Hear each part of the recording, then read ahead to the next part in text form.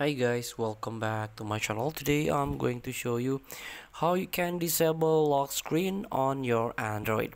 So if you prefer disable lock screen and you can do it with your own risk, you can disable completely. So you can uh, open your settings and you can scroll down and don't forget to activate developer mode or developer options you can search on the internet uh, how you can activate your developer mode through the about phone option. So every device maybe they uh, have a different method. So you can search how you can activate developer mode uh, first. And after you activate your developer mode you can go to the additional setting and open developer options.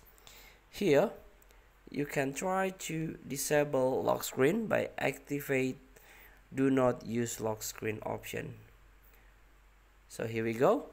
When the lock screen password is turned off verification by fingerprint and face will be disabled and your safe fingerprint uh, and face will also be removed. Anyone using your phone will be able to see this important data on phone. So you can uh, consider to turn uh, leave it by default or if you just turn off just tap on disable.